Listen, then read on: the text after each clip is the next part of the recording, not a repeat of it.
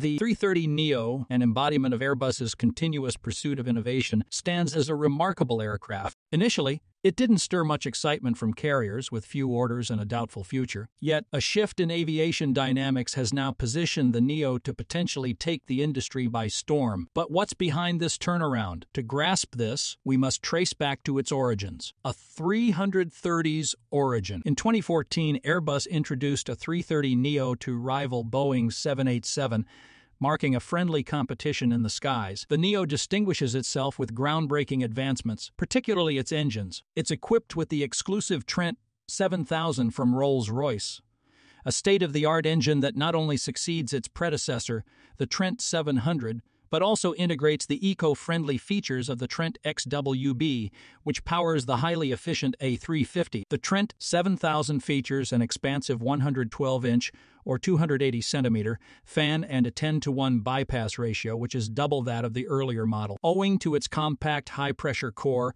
and the most recent advancements in fully swept wide chord fan technology. It achieves a 10% reduction in specific fuel consumption compared to the Trent 700. This leap in efficiency renders the A330 Neo a compelling choice for airlines aiming to slash operational costs and environmental impact. The 330 Neo's debut was unluckily met with tepid interest, garnering scant orders and casting doubt on its future. Airbus had hoped for sales of 1,000 aircraft but has seen only 300 Neos sold so far. Nonetheless, Airbus's steadfast dedication to innovation meant a 330 Neo wouldn't be left in the shadows. Recognizing the aircraft's potential, Airbus invested in its development, implementing several enhancements to boost its allure to carriers. A notable modification was the wingspan adjustment originally shared with the A340. Airbus crafted a new 64-meter wing, which was tailor-made for the Neo and includes a blended wingtip device integrated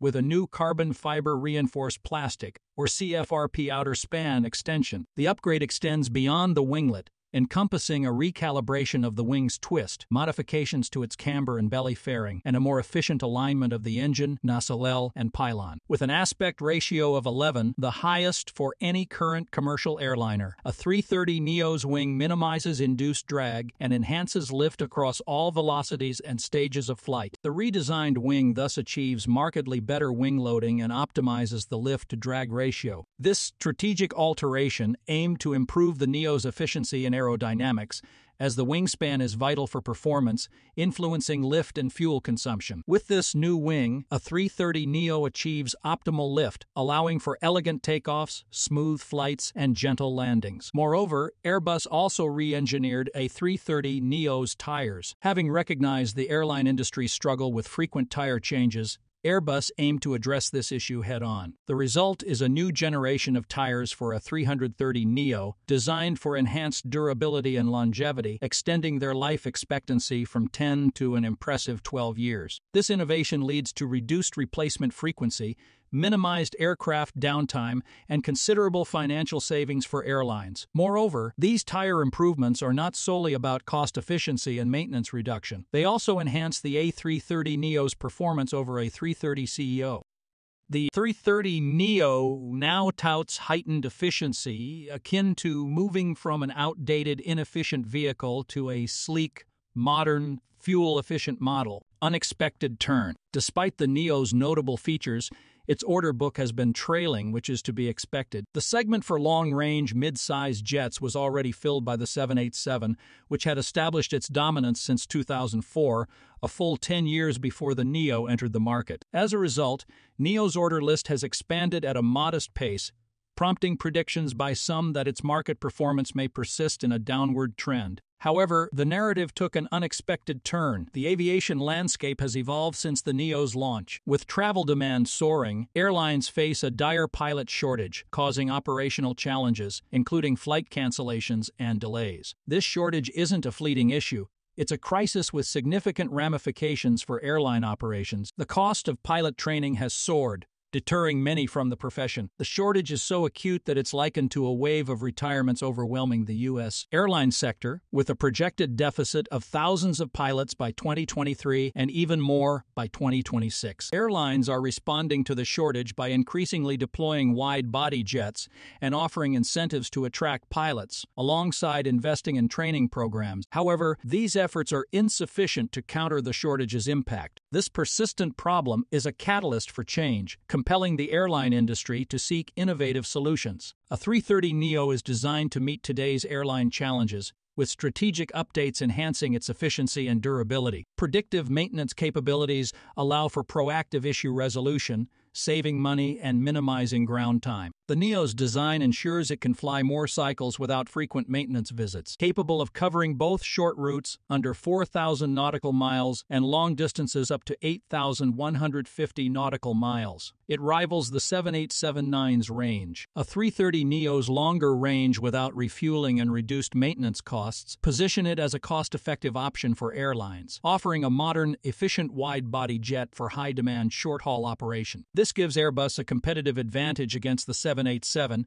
making the Neo a preferred choice in the market, helping to increase its order book and compete with the Dreamliner. Airbus's ingenuity extends beyond technical enhancements, preserving a crucial element, the cockpit. Airbus aircraft from a 320 onwards share similar control systems, ensuring pilots a consistent experience across different models. This uniformity simplifies transitions between Airbus jets, allowing pilots to operate various types within the fleet with ease. This consistency is absent in Boeing 737 and 787, giving Airbus an edge. The standardized cockpit design across Airbus jets leads to lower training costs for airlines, facilitating mixed fleet flying, where pilots can fly different Airbus types, enhancing operational flexibility. Airbus's comprehensive approach is evident in the growing number of airlines opting for a 330 Neo, with carriers like Cebu Pacific and Delta Airlines recognizing its benefits. The Neo's fuel efficiency and passenger capacity have enabled airlines to expand routes and improve financial performance,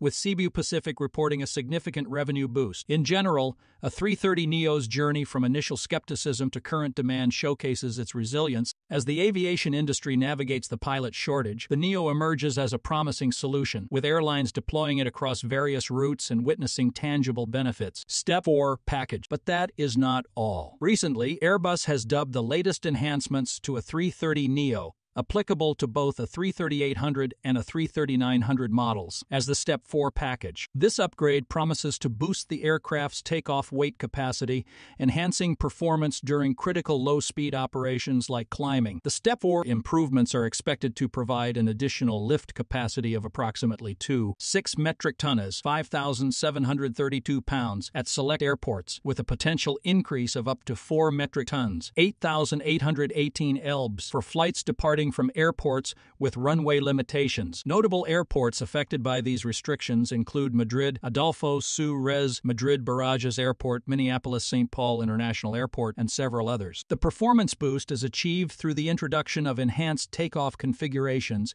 or ETOC, which includes intermediate flap settings. The 30 Neo will also benefit from quicker retraction times for the landing gear and doors. ETOC is based on the common cockpit design shared by the Airbus A320 and A330, which features five flap and slat lever positions. The choice of flap setting is influenced by various factors, including runway length and engine thrust with the aim of optimizing lift and minimizing drag during takeoff and climb. Airbus has bridged the aerodynamic gap between the five flap levers, allowing for performance optimizations through smoother flap and slat transitions. These new settings fill in the gaps between four existing settings, excluding the one between flap 0 and flap 1. Remarkably, these changes do not necessitate any physical alterations to a 330 Neo. Starting in 2025, pilots of the newly delivered A330-900S will have access to these intermediate flap settings, which can be inputted into the multifunction control and display unit's MCDU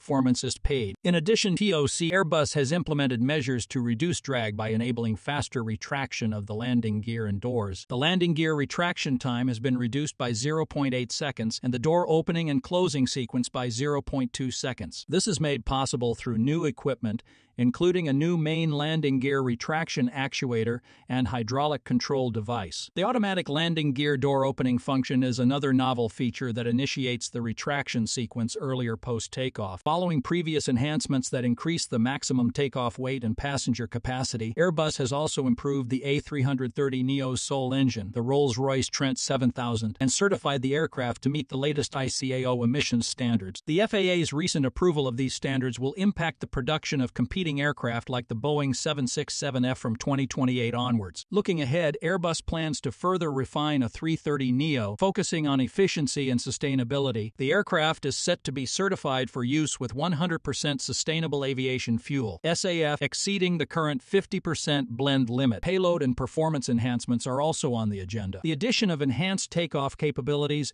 is a strategic move by Airbus to make the A330neo more attractive especially to military operators considering the development of an A330neo MRTT variant. Airbus CEO Guillaume Faury acknowledges the intense competition in the wide-body market and the pressure to align price increases with customer expectations to maintain long-term relationships with airlines. With an anticipated rise in demand for twin-aisle jets in 2024, Airbus remains committed to investing and innovating in this sector. All in all, a 330 Neo's gradual rise affirms adage that good things take time, and it's now demonstrating its true potential in reshaping the aviation landscape. So, what do you think about this aircraft? Have you ever flown with this uh, 330 Neo? Please share your thoughts in the comments section.